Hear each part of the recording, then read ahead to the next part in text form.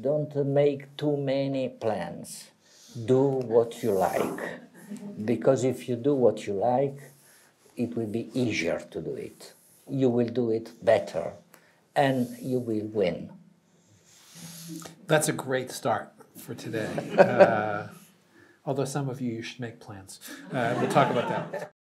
When I was uh, three years old, three years old, I remember the sound, a sound that I like it very much because it is a powerful sound which uh, filled all the underground shelter where I was with my family, with the neighbors. And it was the sound of hundreds of bombers which were bombing my town. But I was a child, and uh, I did not realize that this beautiful sound was the, the origin of the fact that when uh, we get, got out of the shelter, some of the buildings were not existing, no longer existing. And many persons were killed in every bombing. Uh, when uh, we consider that uh, the European Union is unsatisfactory, uh, we should not forget that it has given to us, to Europe, more than 70 years of peace, while war was outside Europe continuously. Kosovo, uh, Ukraine, uh, not to mention Middle East, and North Africa, and, and so on. We should complete the European construction. And to complete it, uh, we have to tackle the most difficult problems that have remained outside. That is political union, fiscal solidarity, and, and so on. Of course, this, this is difficult, but it's better than war and is better also of the possibility of Europe becoming uh, insignificant. The European Union has made of Europe the richest market in the world.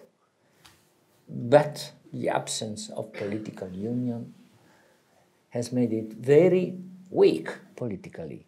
And this, uh, in the next decades, will become uh, a terrific problem for Europe.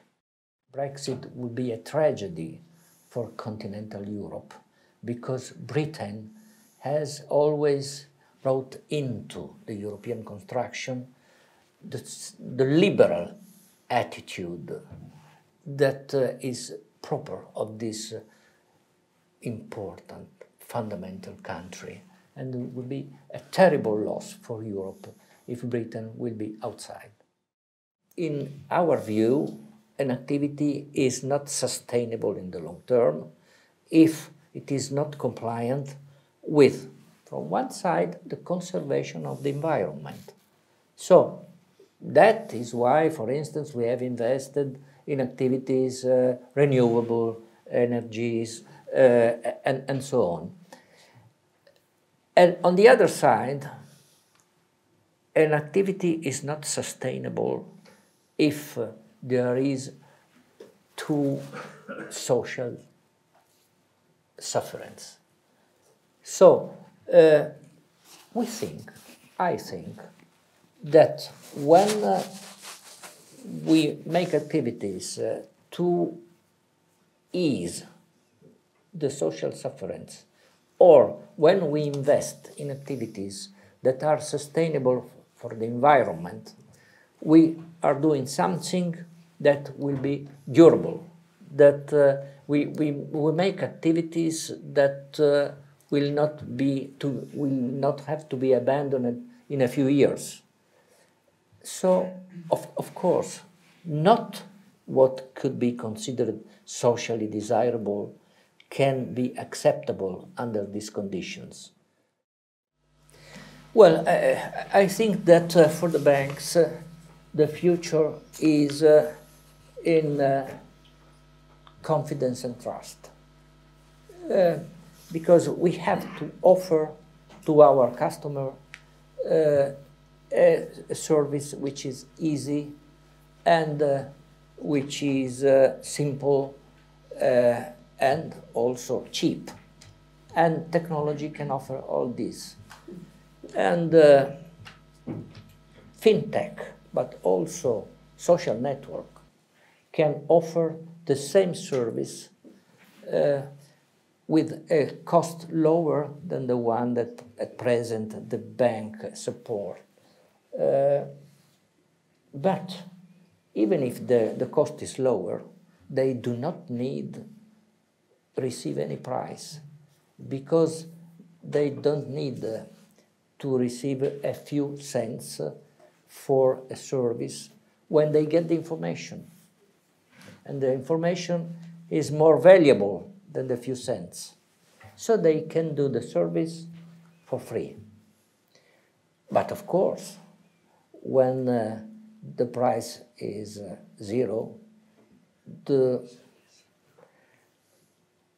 the real merchandise which is on sale is you, your person, uh, your data, what, what you are doing, what you can do.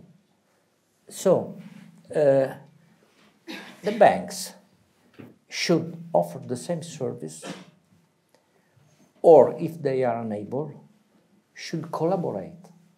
But when protection, when savings, when the construction of a pension for the future is involved, uh, nobody should accept that uh, these uh, very delicate questions can be submitted to a social network or to a fintech uh, that uses the data for different aims. So I think that uh, the banks uh, should go in that direction